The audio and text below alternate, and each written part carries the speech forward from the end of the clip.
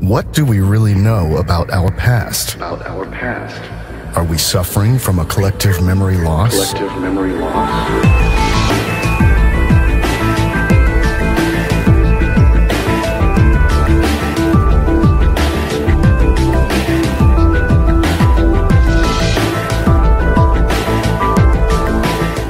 Was there a technically advanced unified civilization on Earth less than 500 years ago?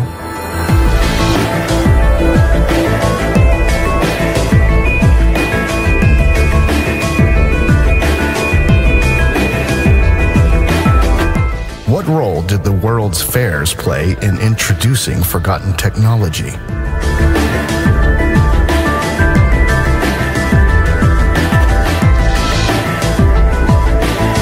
Why did human knowledge suddenly explode in the 19th century?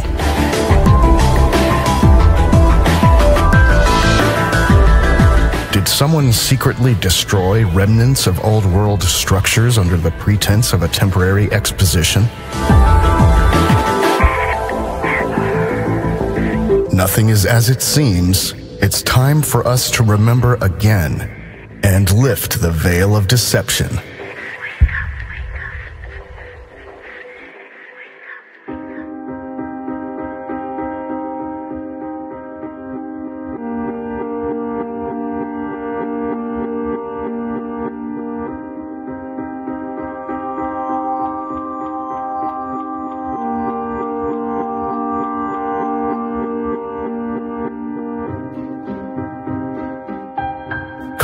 Memory.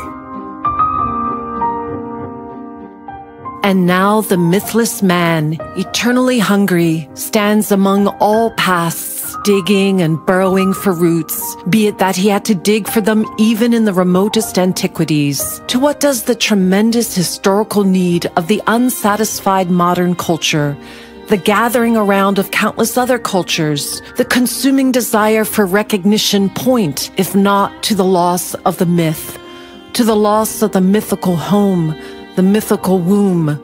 Without myth, however, every culture loses its healthy creative power. Friedrich Nietzsche, The Birth of Tragedy from the Spirit of Music. The most pressing problem of man today is the loss of meaning.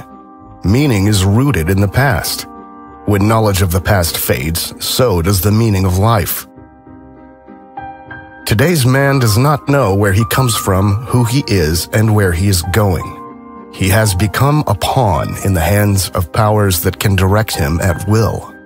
Uprooted from his past, there is no foundation. And without a foundation based on reality, there is no way to develop an objective understanding of the world.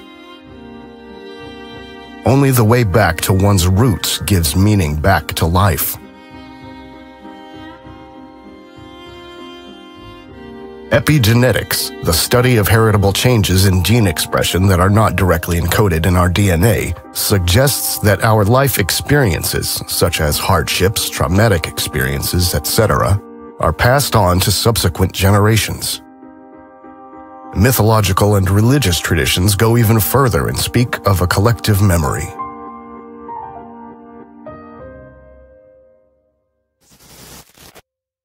Already in the Vedas, the holy scriptures of Hinduism, a kind of universal memory is mentioned.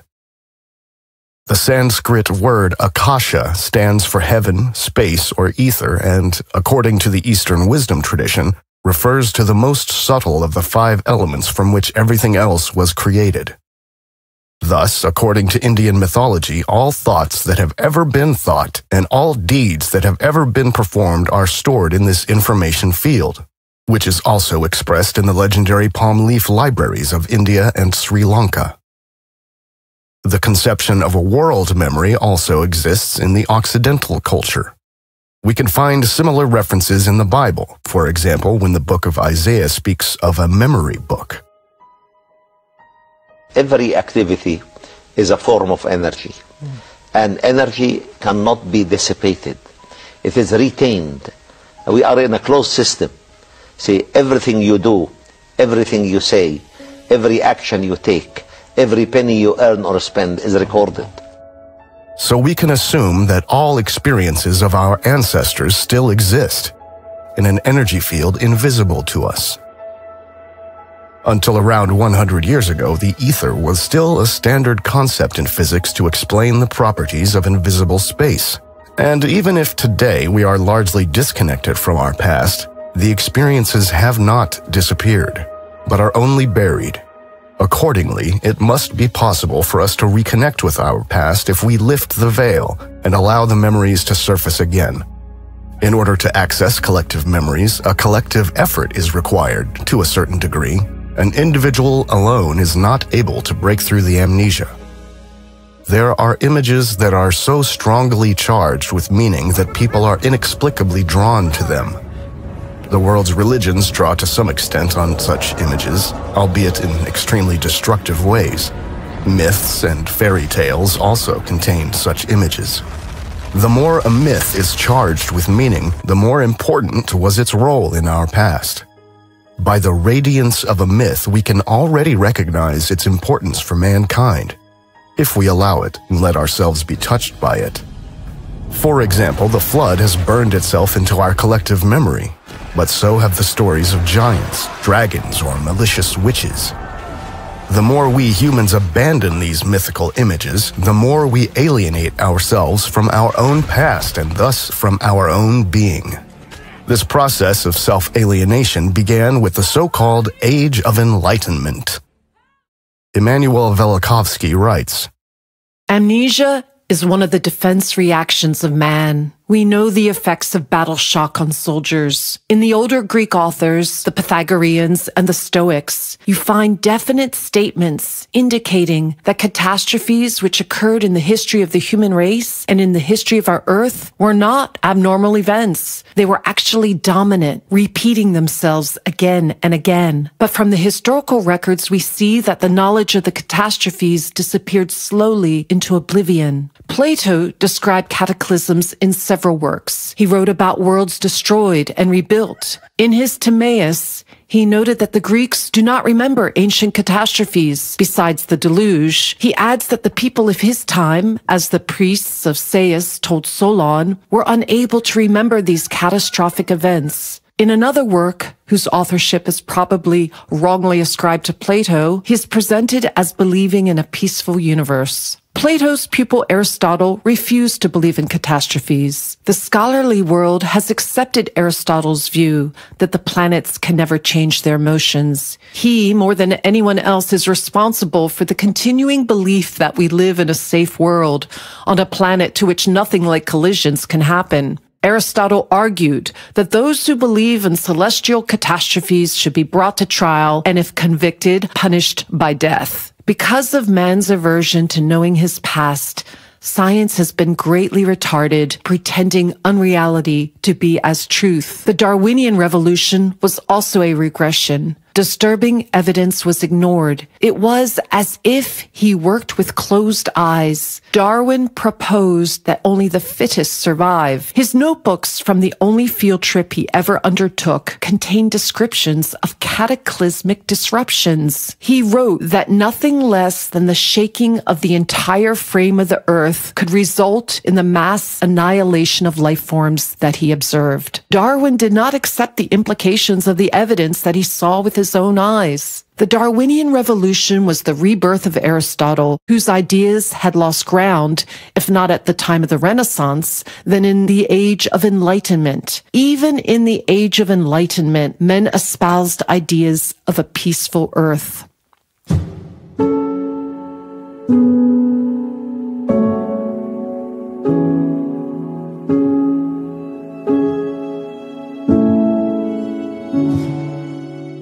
In recent centuries, great efforts have been made to make us humans forget where we come from and who we are.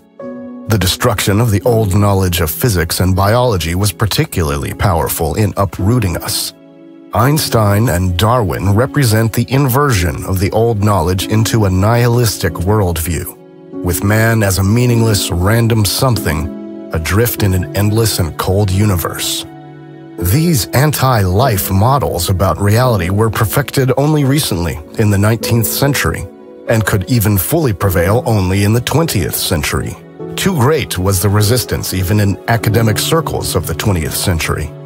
The so-called Big Bang Theory is a good example to understand how religious esoteric concepts entered science.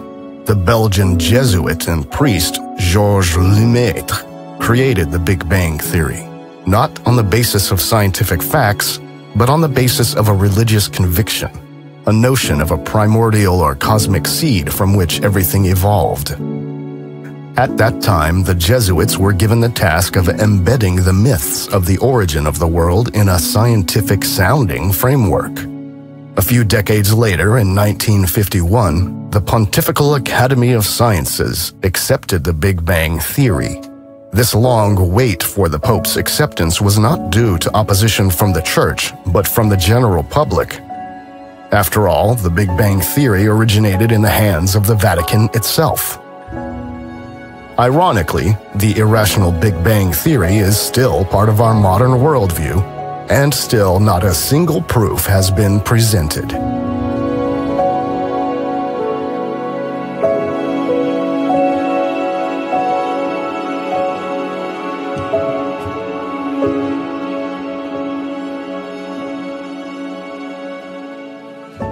The nihilistic and mechanistic worldview represented by Rousseau and other so-called masterminds of the Enlightenment could only flourish on the breeding ground of industrialization.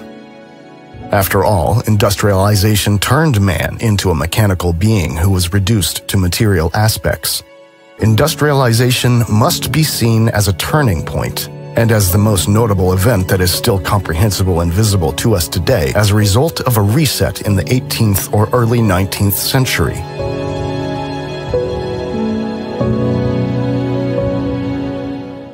This reset followed an event that also brought about the so-called mud flood. All over the world, the buildings of the old world were partially submerged in the earth, and the former first floors were thus usually converted into cellars. Little is known about the cause of the mud flood, possibly a world war we don't remember or an electromagnetic plasma event.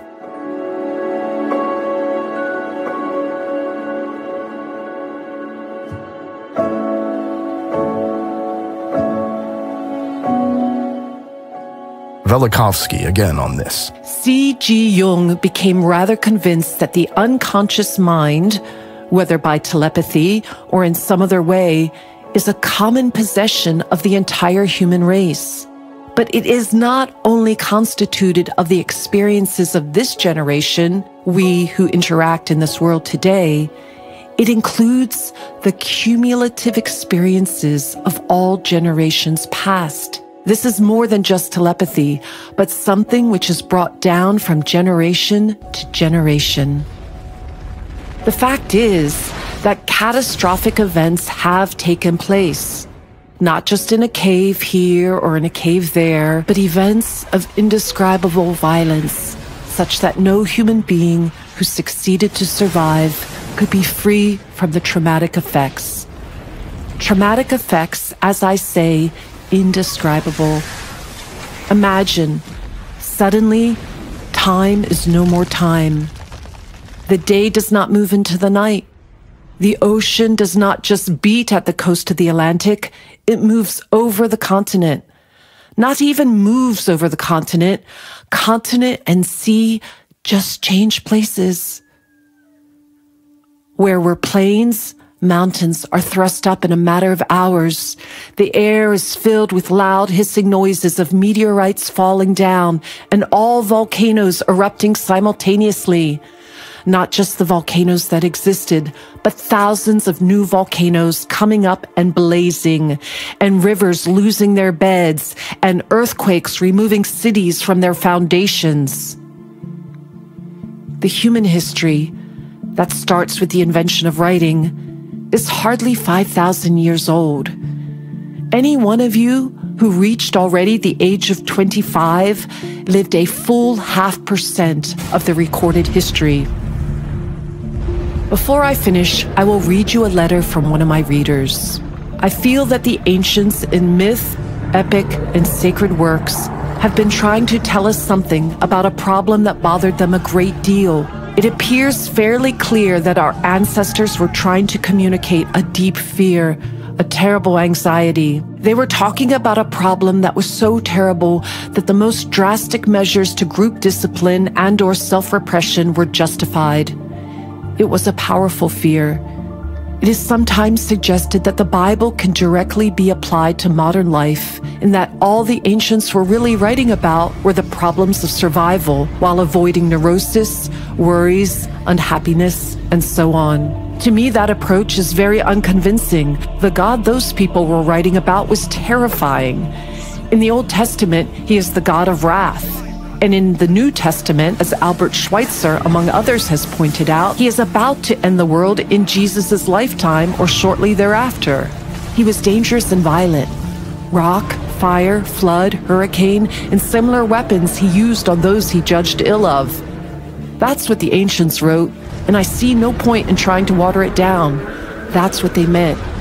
They were really scared. Immanuel Velikovsky. Morphic resonance is a connection across time from the past to the present. And it's a process that occurs between organized patterns of activity on the basis of similarity. What it means, in effect, is that each species has a kind of collective memory. According to biologist Rupert Sheldrake, collective memory is inherent to nature. Living systems have a collective memory of all past experiences of the entire species. This memory exists in an invisible but real energy field. Our collective memories are still there, but since the dawn of modernity, they mainly break through in supposedly fictional stories, e.g., in Tolkien's Lord of the Rings universe. Tolkien wrote down his story, rooted in Germanic mythology, during the First World War, at exactly the time that can be recognized as the final destruction of the old magical world. World War I marked the beginning of the civilizational descent into soulless modernity. Perhaps Tolkien had to write down his vision of Middle-earth because the human psyche cannot survive without a connection to reality, even if this connection is maintained via supposedly fictional stories. It is interesting to note in this context that fantasy stories are also an invention of the industrial age. It was only around 1850 that fictional novels became suitable for mass consumption. Could it be that people were not interested in immersing themselves in dissociative worlds as long as life itself was full of meaning and conveyed a higher purpose?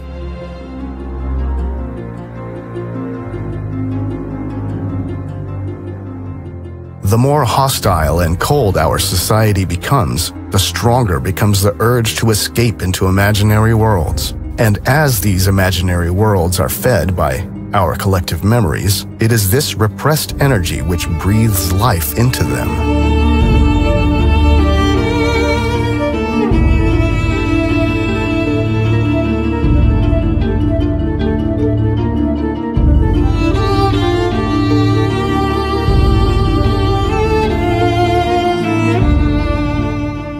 With the destruction of religions by so-called science founded by secret societies, people were deprived of one of the last connections to the past. But the truth wants to come to light again, and it will eventually resurface. Enormous efforts are being made to keep humanity asleep because our potential and true power is almost limitless.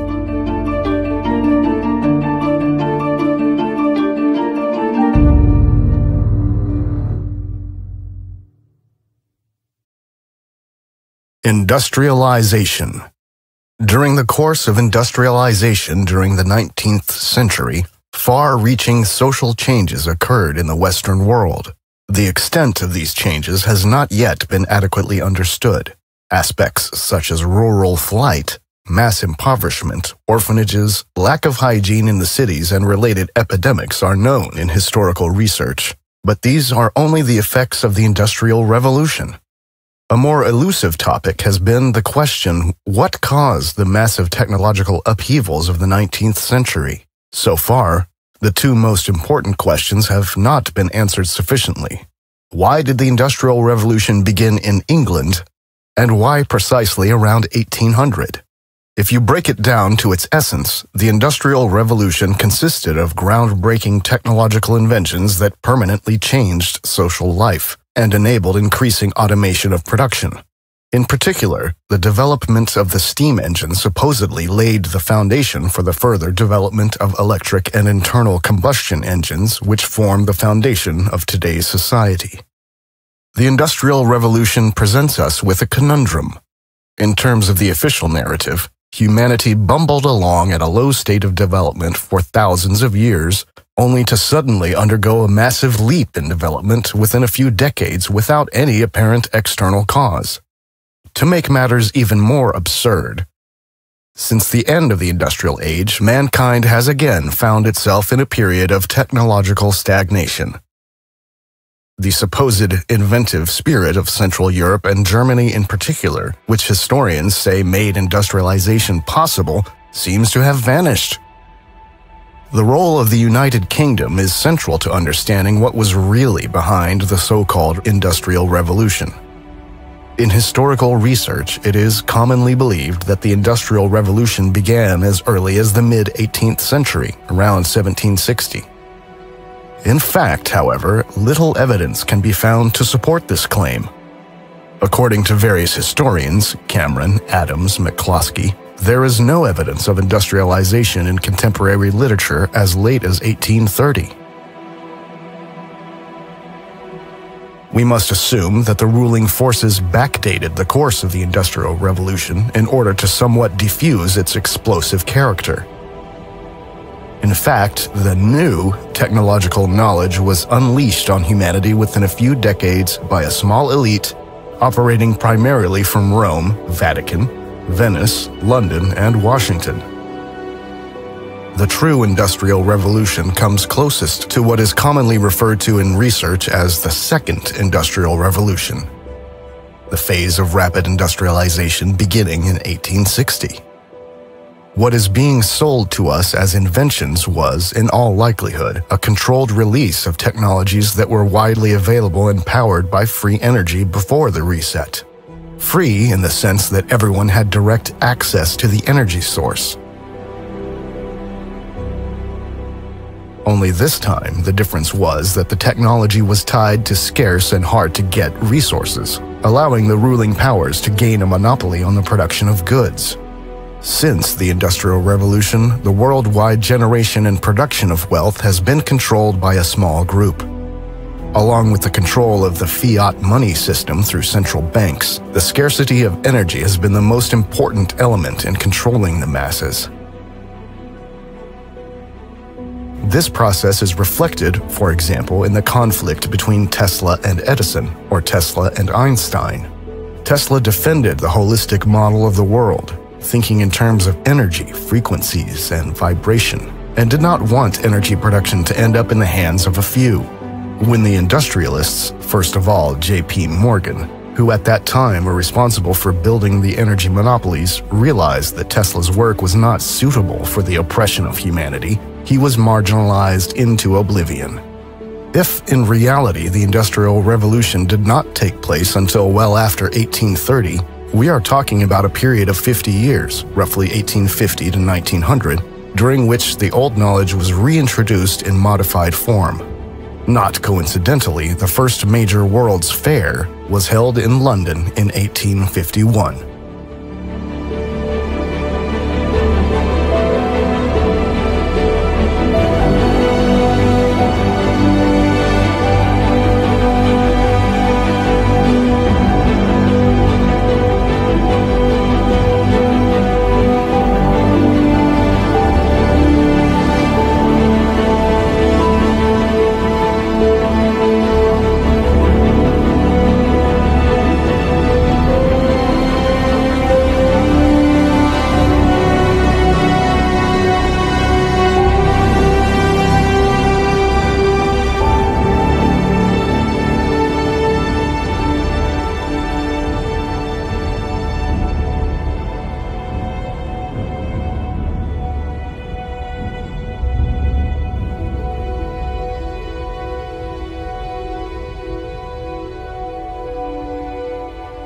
Imperialism Why did the Industrial Revolution begin in England?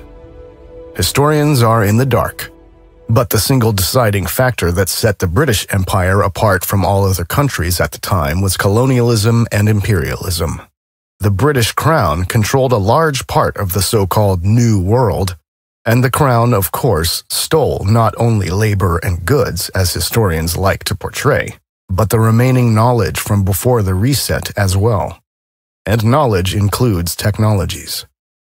Officially, much of India's knowledge is said to have been wiped out by a genocide of Indian scholars and a series of invasions over the course of the last 1200 years, but evidence suggests that it was British colonialism that significantly mutilated India's culture.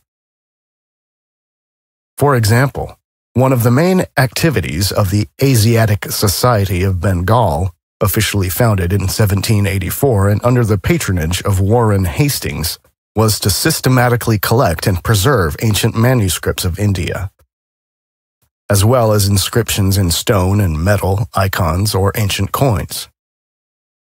And Friedrich Max Müller, one of the founders of the Western academic field of Indian studies, was paid by the East India Trading Company to translate the Vedas, to distort them permanently, and to create arbitrary dates.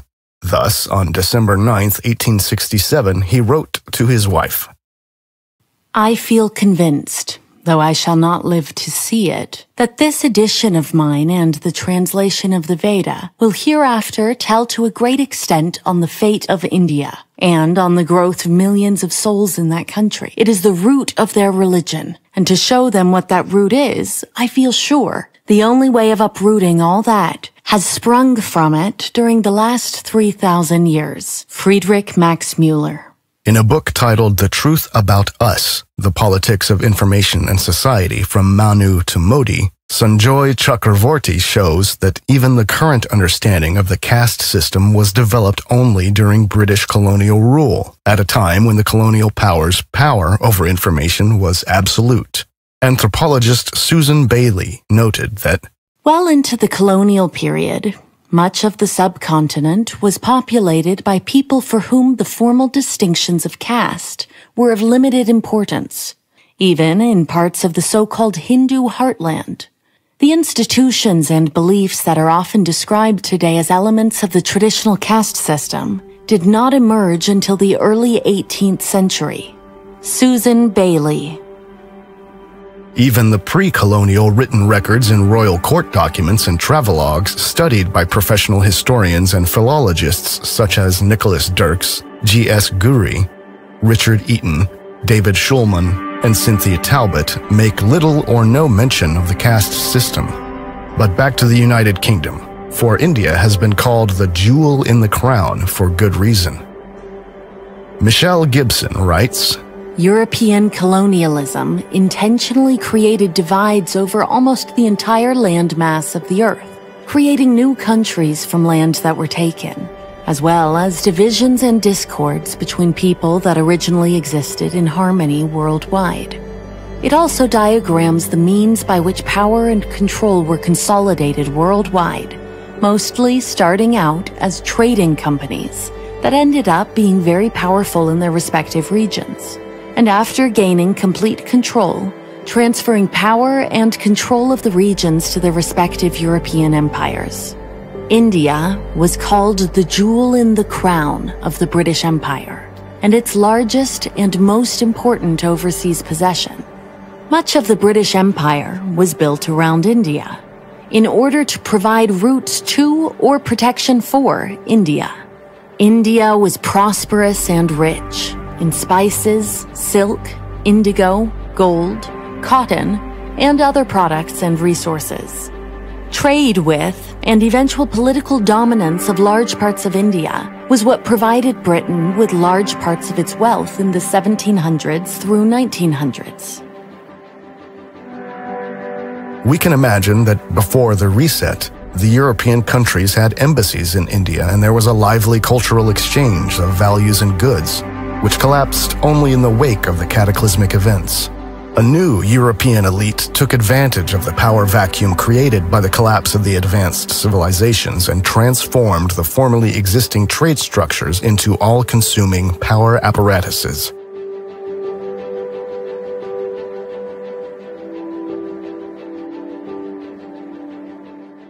This would also explain existing inconsistencies for historical research has never been able to explain satisfactorily why the colonial powers only began to expand their rule over the colonies with brute force and blind missionary zeal a few hundred years after colonization.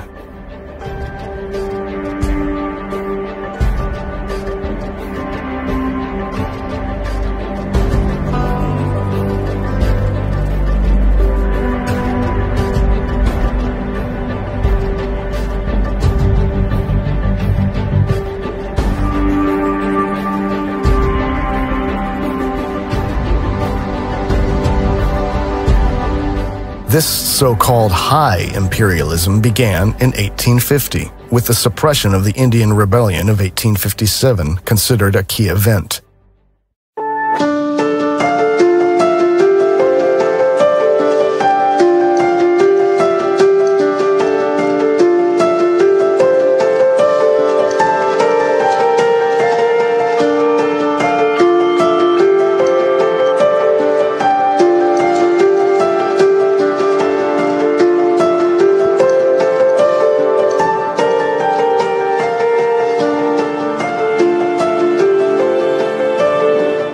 In 1885, the Congo Conference, held in Berlin at Bismarck's invitation, settled the effective division of Africa among the colonial powers. At the Congo Conference, the concept of state formation was applied to Africa and imposed on the continent. But thinking in terms of state boundaries and national identities was still fairly new in Europe as well. In 1884, the Washington Agreement enforced the worldwide time system according to Greenwich Mean Time, which had been introduced in the British Empire in 1847.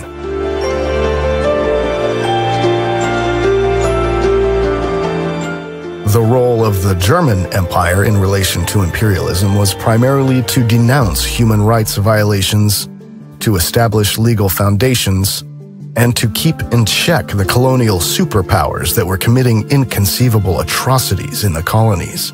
However, in the course of falsifying history after World War II, German imperialism is nowadays usually portrayed in a negative light.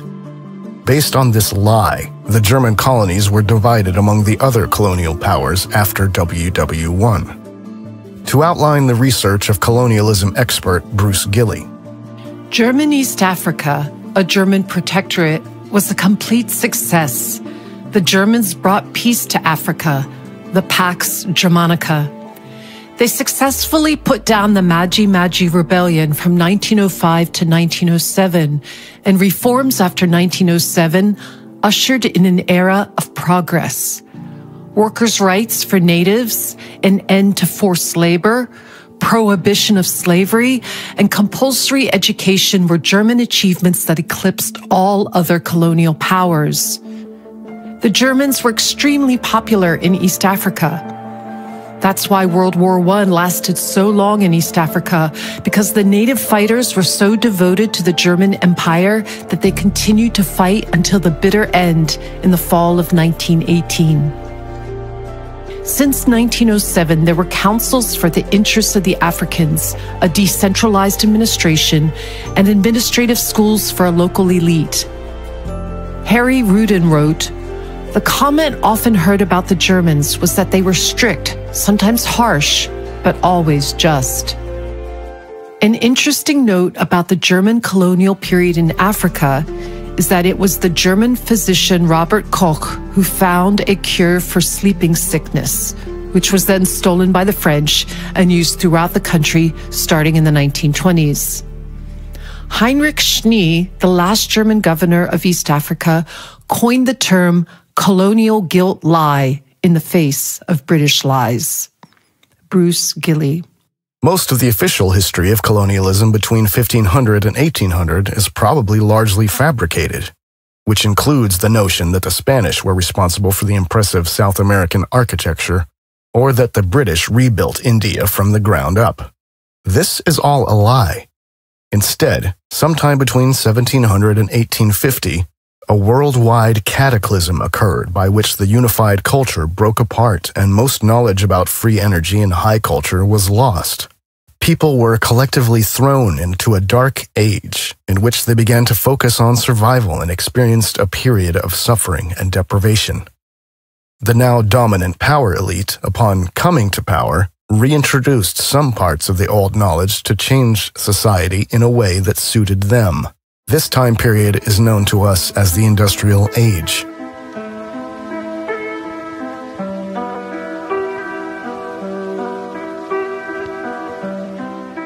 This power elite has its roots in the Roman Empire. The countries of the Western Roman Empire gradually became huge economic and warlike nations. Italy, Venice, Portugal, Spain, France, Britain, the Netherlands. The first financial center was established in Venice, which was later moved to Switzerland. All those who did not want to submit to the church were killed or fled towards Germania. The approach of the church corresponds to the tactics of the Roman conquests. The church then divided the territory and set up its own administrators in these areas. The subsequent emergence of the high nobility, all of them loyal to the church, can be attributed to this. The Roman army was at one point dissolved and divided into knightly orders. Germany, as a stronghold of Protestantism, was able to resist these ecclesiastical forces a little longer, but was also taken over at some point, as was the Muscovite Tartary, the former empire of the Scythians, which was taken over by Russia. Since then, the European powers have all been controlled from behind the scenes by the Cabal, and they managed to make it look like Britain, Germany, France, Portugal, Spain, and Russia were competing with each other. But they were actually working together. The Hohenzollern and Orange-Nassau noble families simultaneously controlled Britain, the Netherlands, the German Empire, as well as the Russian Tsarist Empire. The Habsburgs, funded by the Fuggers, controlled Central Europe, the Vatican, and parts of Western Europe. So the Russian Tsarist Empire was already in the hands of the Cabal, moving from Prussia to Russia, and Russian history was written in the 18th century by Western European academics, who also occupied the most important positions in the newly founded Russian Academy of Sciences. The Russian Empire was then deployed to destroy the Great Tartar Empire. The heart of the darkness lay in Western Europe. It was a race against time, for most of the world was just recovering from the reset, and all the Europeans had to do was get a few of their people on ships, get them quickly to the ruined kingdoms, kill or expel or manipulate the rulers, and proclaim a new political system.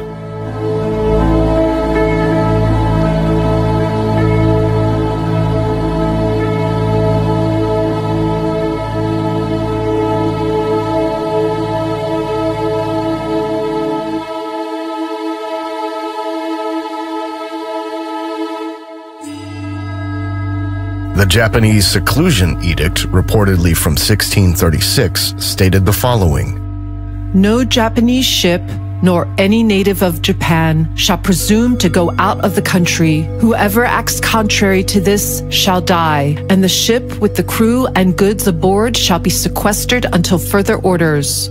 All persons who return from abroad shall be put to death. Whoever discovers a Christian priest shall have a reward of 400 to 500 sheets of silver, and for every Christian in proportion. All Namban, Portuguese and Spanish, who propagate the doctrine of the Catholics or bear this scandalous name shall be imprisoned in the Onra or common jail of the town. The whole race of the Portuguese, with their mothers, nurses, and whatever belongs to them, shall be banished to Macau. Whoever presumes to bring a letter from abroad or to return after he hath been banished shall die with his family. Also, whoever presumes to intercede for him shall be put to death. No nobleman nor any soldier shall be suffered to purchase anything from the foreigner. Thus began a social epoch in Japan known today as Sakoku. the voluntary isolation of Japan from all Western powers. It was not until 1853, two years after the First World's Fair in London, that the West actually succeeded in turning Japan away from its peaceful, self sufficient life. The policy of the Sakoku ended after 1853, when the American black ships commanded by Matthew Perry forced the opening of Japan to American and thus Western trade through a series of unequal treaties. This was just a few years after the same forces had destroyed ancient China in what is now known as the Opium Wars. In 1842, the Qing dynasty was forced to sign the Treaty of Nanking, the first of what the Chinese later called the unequal treaties, which granted Britain compensation and extraterritoriality opened five treaty ports to foreign merchants, and ceded Hong Kong Island to the British Empire. The failure of the treaty to fulfill British goals of improved trade and diplomatic relations led to the Second Opium War, 1856 to 1860, and the defeat of the Qing led to social unrest within China. In China, the war is considered the beginning of modern Chinese history. The same old game over and over again. It is important to realize that everyone in China and Japan hated Catholics because Catholicism was used as a weapon to weaken their countries culturally before the British also took over the political structures. Until the 1840s, China and Japan were defending themselves quite successfully. Even back then, Vatican controlled Catholicism had nothing to do with genuine Christianity. Rather, the Vatican was used to infiltrate genuine Christianity. Michelle Gibson. The year of 1493 was the year that Pope Alexander VI authorized the land grab of the Americas in the Inter Caetera Papal Bull. This papal bull became a major document in the development of subsequent legal doctrines regarding claims of empire in the New World and assigned to Castile and Spain the exclusive right to acquire territory, to trade in, or even approach the lands laying west of the meridian, situated 100 leagues west of the Azores and Cape Verde Islands, except for any lands actually possessed by any other Christian prince beyond this meridian prior to Christmas 1492. Michelle Gibson. the emperor of the Roman Empire became the pope of the Roman Catholic Church. The famous papal bull Unam Sanctam, supposedly dating back to the Middle Ages, was intended to cement the absolute rule of the pope. The last sentence of this bull reads But we now declare, say, and define that it is absolutely necessary for salvation for every human creature to be subject to the Roman pontiff. Thus, the Pope legitimized himself as the sole representative of God on earth. The so called heretical Christian communities, such as the Albigensians and Cathars, condemned the papacy as the church of the Antichrist and considered themselves the successors of the true Christian heritage, which, however, was allowed to continue only in secret. Papal Catholics were accused, among other things, of being responsible for the mysterious fires that destroyed entire cities. The monument in the city of London about the London Fire of 1666 still read until 1830 The most terrible destruction of this city begun and carried on by the treachery and wickedness of the papal faction. Western historians confused Jesuit Catholicism with Christianity and accused Japan and China of blindly hating all Christians, while omitting all facts proving the obvious interference of the Jesuits and the Catholic Church in foreign affairs. Thus, regarding the reshaping of the Chinese chronology, we read the following from Uwe Topper in The Great Forgery Event. Perhaps the most lasting effect of Jesuit work, however, lay in the reshaping of Chinese chronology and its alignment with Western data. The creation of a chronological system was quite new for the Chinese. It was done according to the Latin model and on the whole in the spirit of the Catholic Church. The whole process took a century and a half and was finally terminated by the Chinese from 1735 by force.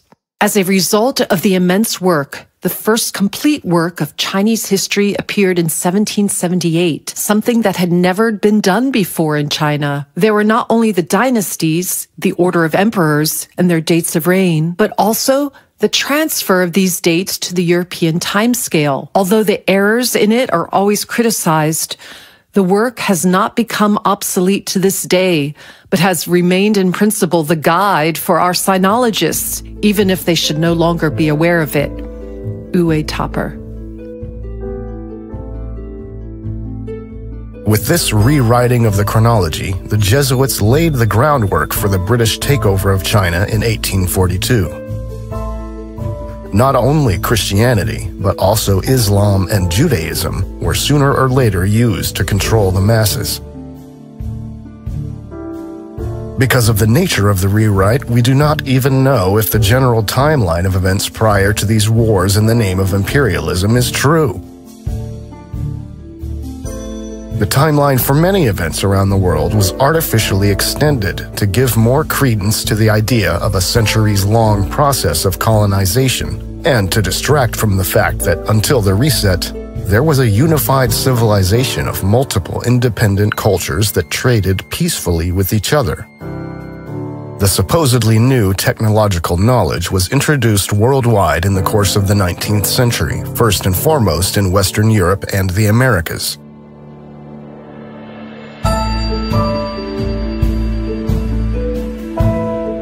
An important role in the reintroduction of the old technologies in the new guise of energy scarcity was played by the world's fairs. From 1851 onwards, countless world exhibitions were held. Today, this tradition still exists in the form of the expos, but in principle, they no longer play a role, since there have been no real technological breakthroughs since the two world wars, with the exception of information technology, which is being deliberately developed to bring the dystopian vision of transhumanism to the world.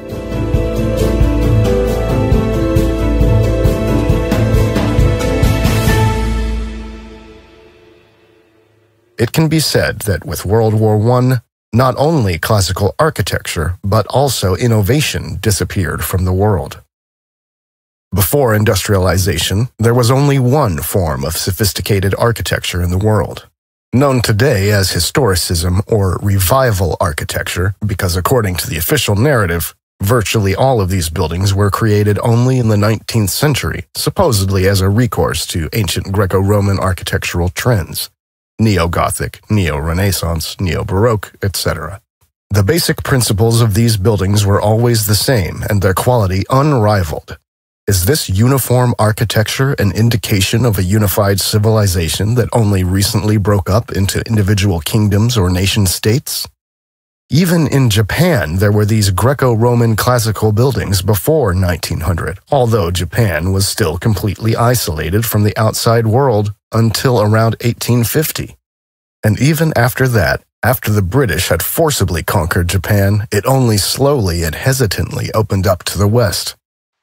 The German chronology critic Christoph Pfister writes in his book The Matrix of Ancient History about the chronological dating of European building culture.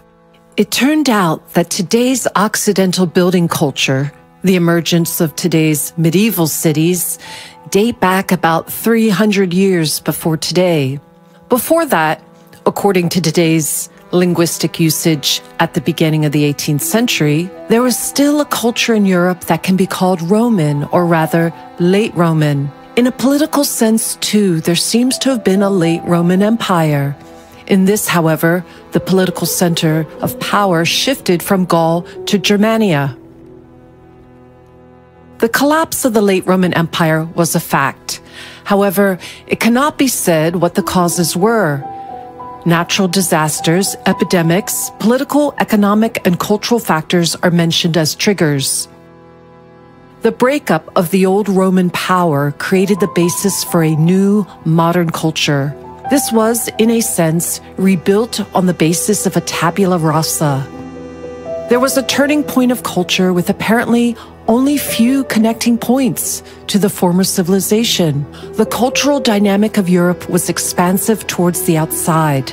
Towards the west, the discovery and colonization of the two Americas and then of Africa and Asia took place. The successful colonization of the New World and East Asia saved Europe and gave it a privileged position as a world colonial power from about the middle of the 18th century. The New Europe, which emerged in the first decades of the 18th century, first invented the written language that has been preserved today, and thus the written culture. Art and architecture, too, were largely created only after the great political and cultural break. Christoph Pfister. In other words, the colonization of the world did not take place until 1700 at the earliest, but was backdated by the falsifiers of history on behalf of the imperial powers. Imperialism developed as a reaction to an event, possibly a war or a natural disaster, which wiped out the old, so called ancient world and left a power vacuum. Western Europe managed to emerge from this vacuum as a winner Imperialism was kind of a worldwide raid by the Western European powers to grab the countries of the world that had been devastated by the catastrophe. The conflicts between the individual colonial powers, Spain, Portugal, England, Germany, etc., that have been handed down historically are part of the game of hide and seek played by the European power elite organized in secret societies and shadow organizations. But these conflicts took place only on a superficial political level because, as is the case today, public decision makers were rarely privy to the real plans.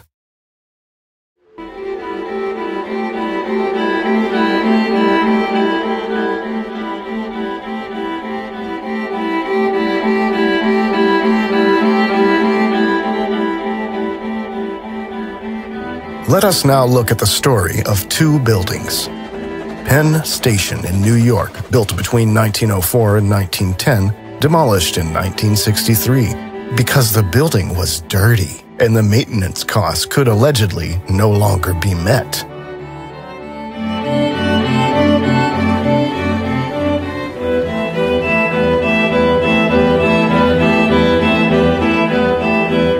Built in the Greco Roman style.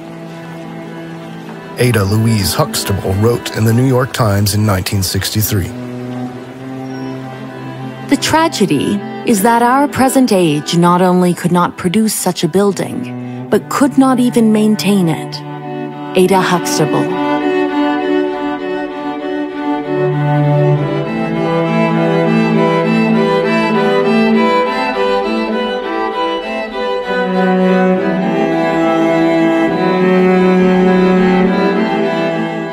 County Savings Building, built in 1893 in the neo-Romanesque style. We read about the demolition of the Erie County Savings Bank building in 1968 in the Buffalo Evening News. Every evening for more than three months, a battle was fought in Shelton Square between her and two cavernous cranes. The latter attacked with two primitive means of offense a pair of jaws and a rock or in modern wreckers parlance, a clam bucket and a busting ball. The former weighed in at three tons, the latter at three and a half. The fight was one of the toughest in veteran wreckers' memory. For a wrecker to admit resistance is like a weightlifter confessing his muscles are getting flabby. It began at 4:30 in the afternoon and continued through 7:30 the next morning, 5 days a week. A crowd of variable size would gather to see the kill. It was the show of the town. Whole families arrived in station wagons from the suburbs. The original plans of the building were made available when the crane operations of the 25 man demolition crew began to munch at the building, however. It was evident that plans and reality did not agree. The roof, with its turrets and gargoyles and finials, was the toughest. A finial, lifted intact like a birthday candle to the ground, measured three and a half feet high and weighed an estimated 600 pounds. Not to mention the cones on the towers, which look like cake frosting aloft, but on the ground measured 20 feet high and 15 feet across cast iron and steel. As the wrecking progressed, scores of 200 pound red granite carved images, five feet thick, set in the walls around the crest of the building came tumbling down, their carnival faces of joy and sorrow biting the dust. The very stones of the building were resistant. The walls, which tapered from nine feet at the base up to three feet, were composed of foot thick red granite stones weighing up to three tons each. Interlocked, they had to be lifted out like lumps of sugar, piece by piece. They did not sound like sugar when they dropped. If we look at the bigger picture, the two world wars appear in a new light. The colonization of the world took place later than we are told, only in the 1700s.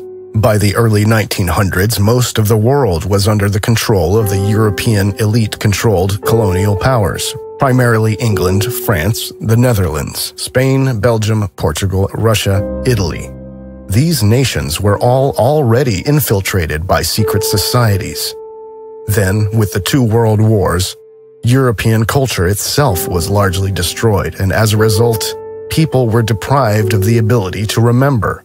The wars created a collective trauma that made it difficult to connect with the pre-war period. If we look at the earliest photographs from the former colonies, particularly India, we see a world in ruins and people who are not suited to the structures in which they live. These photos resemble 18th and 19th century landscapes of Europe. If we ignore the official timeline for a moment, we can entertain the thought that our world was laid in ruins not too long ago, and that this event allowed parasitic forces to establish a new world order. This new world order is still in the making and has as its goal the complete uprooting of man from his being and his history. The 19th century saw the conquest of the last part of the Tartar Empire by the Russian Empire. The independent or free Tartary, as it was called on the old maps, was located until about 1870 directly east of the Caspian Sea in the territory of today's Uzbekistan with cities like Samarkand and Bukhara. However, Tartary is not mentioned in the official history of Uzbekistan. Anatoly Fomenko writes on the subject of independent Tartary. Unlike Moscow Tartary, the fate of independent Tartary is known. It was conquered by the Romanovs in the middle of the 19th century. Samarkand, the capital of the independent Tartary, was seized by the Romanovs' army in 1868. A few decades later, the Soviets, on behalf of the Cabal, destroyed large parts of the Central Asian remnants of the Old World in the name of communism the First Anglo-Afghan War, the settlement of New Zealand and Australia, and the gold rush in the American West also fall within this period.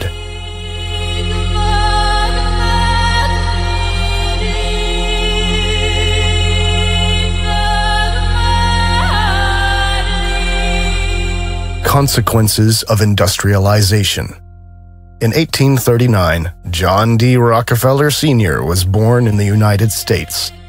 He later founded the Standard Oil Company in 1870. The World's Fairs coincided with the power struggle for authority in physics and the monopolization of energy production, with the sinking of the Titanic and the founding of the Federal Reserve Bank. At that time, the cabal got rid of those industrialists who opposed the plan of establishing a new world order. The three most prominent opponents of the establishment of the Federal Reserve Bank, Benjamin Guggenheim, Isidor Straus and John Jacob Astor all died with the sinking of the Titanic. The Titanic belonged to J.P. Morgan, one of the string pullers behind the creation of the Fed, who spontaneously decided against being present at the maiden voyage. In 1910, the first plans for the foundation of the Fed took place on Jekyll Island. In April 1912, the Titanic sank. In reality, her sister ship, the Olympic, sank. And a year later, in 1913, the Fed was founded with the passing of the Federal Reserve Act, thus laying the foundation for the arbitrary control of the world economy by the secret elite, which had already infiltrated most nations at that time. Woodrow Wilson signed the act, allowing the Fed to issue Federal Reserve notes, US dollars. A few months later, the First World War began the civilizational decline in Central Europe. Nations were set against each other. In 1866, Otto von Bismarck led Prussia into the German War of Brothers against Austria. After the end of this fratricidal war, he did not include Austria in the newly formed North German Confederation and annexed Alsace-Lorraine. He thus created, possibly without being aware of it, the structural conditions for the First and Second World Wars. However, the assassination attempt on Bismarck and his dismissal by Wilhelm II indicate that he was a thorn in the side of the secret societies. His anti Catholic policy of the Kulturkampf may also have contributed to this. The war against the Germans started with Rome's propaganda against the supposedly primitive Germania and continued with the Reformation Wars. Bismarck tried to reduce the influence of the Vatican and secret societies.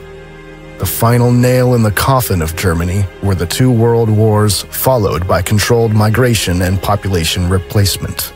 In the course of the Thirty Years' War, Germany's spiritual backbone was broken.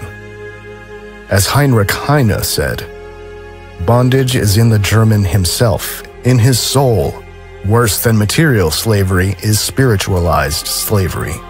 Germans must be liberated from within. Nothing helps from without.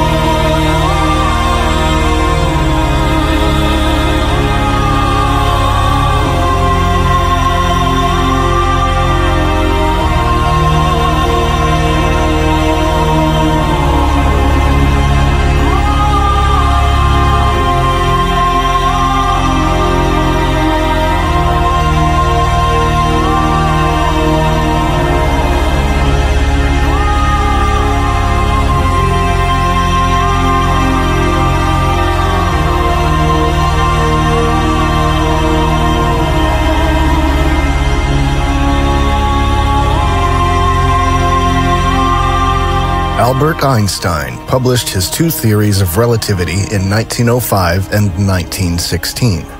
With the general theory of relativity, the ether was finally abolished in physics. General relativity was needed primarily to explain the properties of space without recourse to an objectively existing ether field. Even Einstein was so uncomfortable with this action in retrospect Presumably, he realized at some point what his financiers had intended, that he later still tried to clarify that his theories would not work at all without the ether. But by then, the damage was done, and he had fulfilled his role of eliminating the old knowledge of the holistic physics of the ether from science.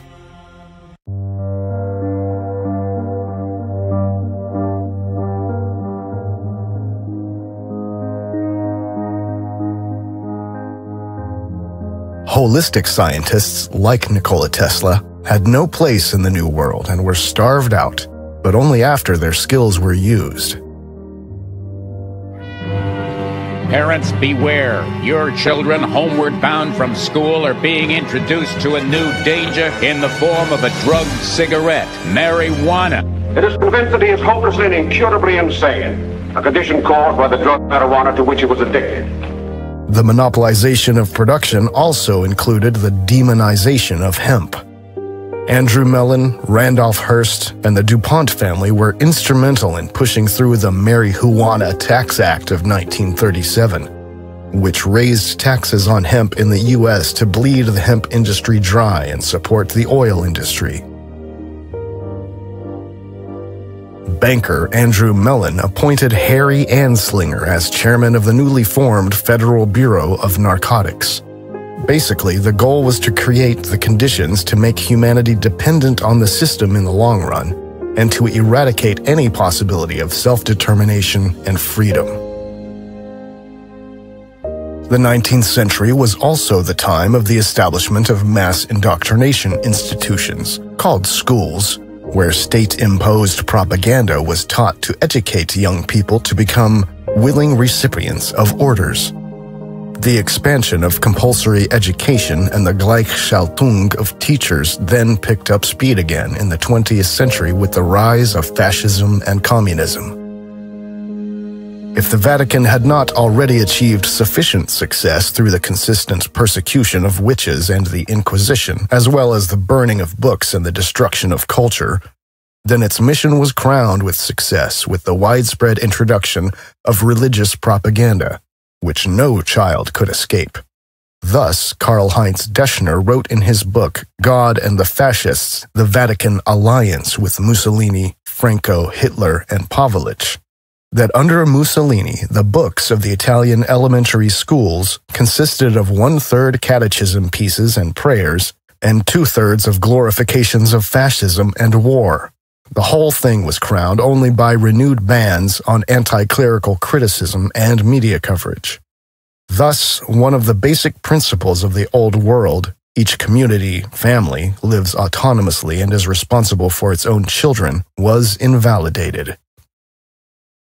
The consequent tearing apart of these communities and the early centralized indoctrination were of central importance. Then, with the Flexner Report of 1910, the robber barons Rockefeller and Carnegie destroyed holistic medicine in the U.S. and laid the groundwork for building the anti life medical cartel under which we live today.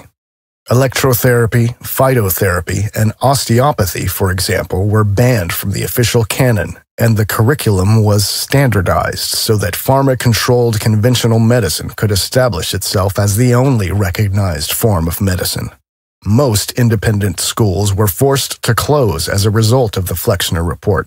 The Flexner Report was inspired by the destruction of alternative healing methods in Germany, where the policies of the Flexner Report had already been implemented in 1880. Throughout his life, Flexner was an ardent advocate of the German pedagogical style of medical education. He firmly believed that medicine was a scientific discipline that could best be realized in America using the German model as a prototype. It was a system in which medical scientists were trained in university hospitals.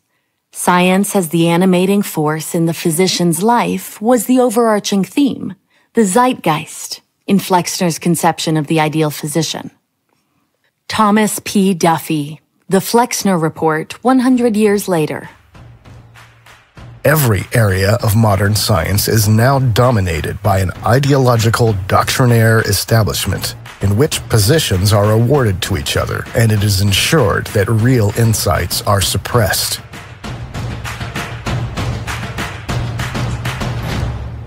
Aan tafel is onder andere Connie Braan. Die schreef dit schitterende boek, dat heet De Handelsreiziger. En dat gaat eigenlijk vooral over iets wat wij niet wisten, namelijk over de grootste cocaïnefabriek ter wereld. En die stond...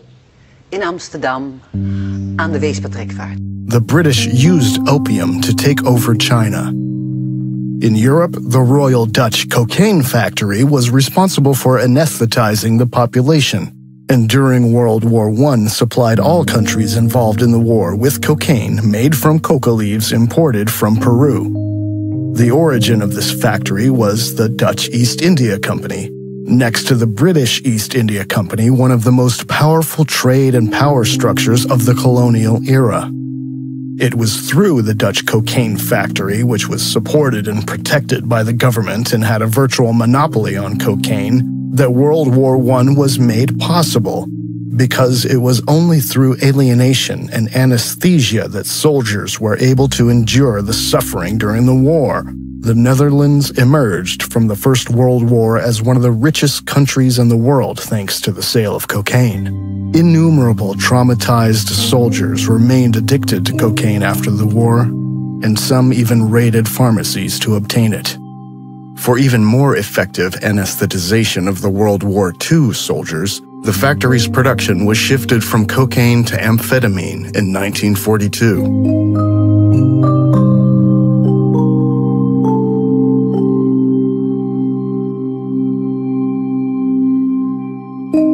Michelle Gibson assumes that all the railroad tracks were just dug up and that all of the infrastructure, locomotives, cars, stations, was already in place as well.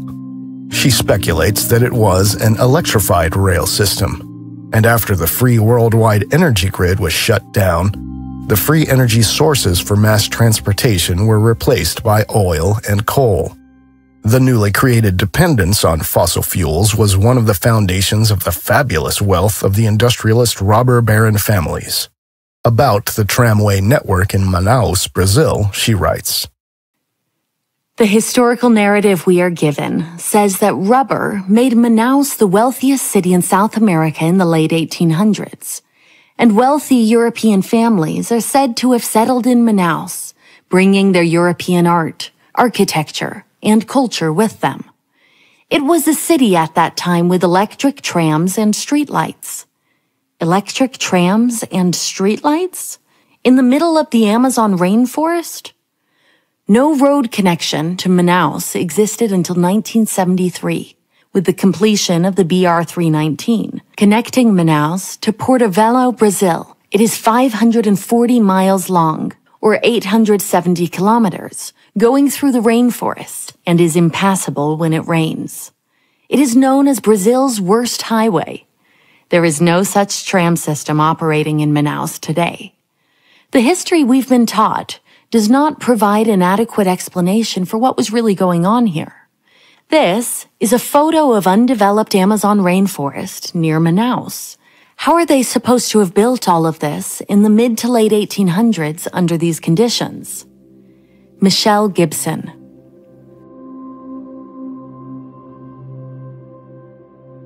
Isn't it a bit strange that directly after the sinking of the Titanic and the crash of the Hindenburg, the way of transportation was standardized worldwide so that almost exclusively petroleum is used? And this has not changed in the last 100 years. Why was the public never shown a single photo showing the beginning of the Hindenburg's fire, although 22 professional photographers were present at the event? Why was the static spark theory chosen as the cause of the Hindenburg's sinking, even though there was no evidence to support this theory? Why did all nations stop building airships after the Hindenburg burned?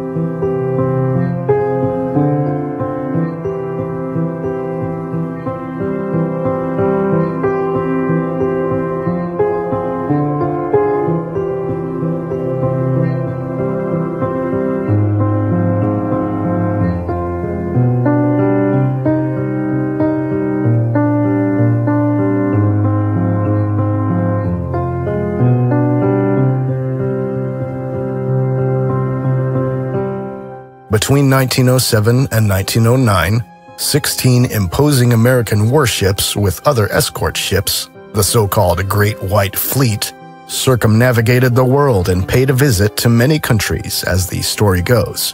Officially, the purpose was to demonstrate America's power to the world and to promote cooperation. But perhaps it was simply an inspection of the newly staked possessions around the world and an inventory of which kingdoms had not yet surrendered to the new order. The foundation of the world we live in today was laid at that time during the world's exhibitions. The technological knowledge of the old world was selected. One part of the knowledge was kept secret, the other part was presented to the public. One of the most important criteria in this decision-making process may have been whether a technology could be controlled by a central authority. Any form of free, no-cost energy, for example, was very dangerous to the forces that controlled the robber barons of the industrial age secretly from the shadows. It is important to understand that these industrialists had not earned their wealth themselves. They were born into elite families and chosen to play a role. These families and structures still exist today. Be it Elon Musk, Bill Gates, or Steve Jobs, none of them rose to power and money through their own efforts.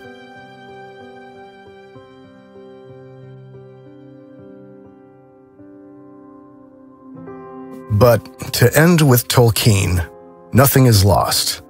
In our world, Middle Earth, the descent into darkness dominated by evil is part of the process of humanity's evolution.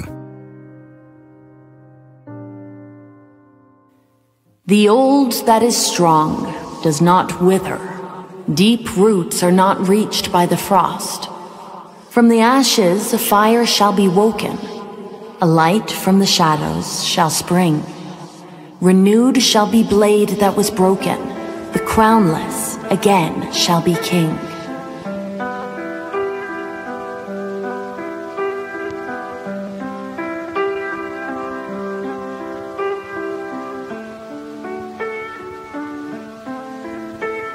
I came into this world in the rough and ready year of 1923. It was a barbarous time. It was a bleak time, and it was an uncivilized time. My memories stretch back almost a hundred years, and if I close my eyes, I can smell the poverty that oozes from the dusky tenement streets of my boyhood. I can taste on my lips the bread and drippings that I was served for my tea. I can remember extreme hunger and my parents' undying love for me.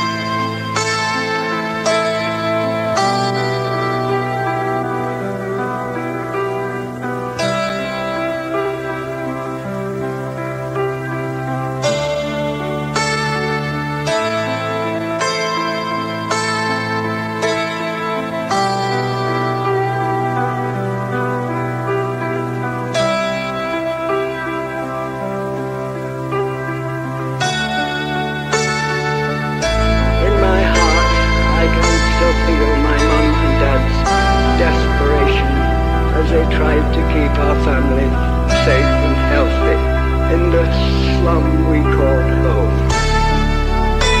Oh, Poor mom and dad, no matter how hard they tried to protect me and my sisters, the cards were stacked against